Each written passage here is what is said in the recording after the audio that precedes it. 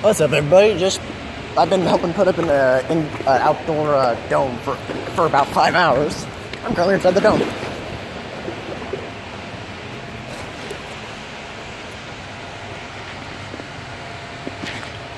Yeah, been running across the water too.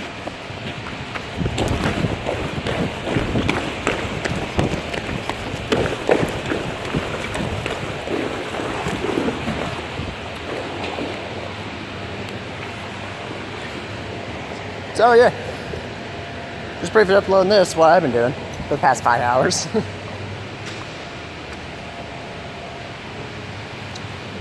it's been a hard fucking job. This fucking dome weighs like six thousand pounds. We had to use a forklift to move it.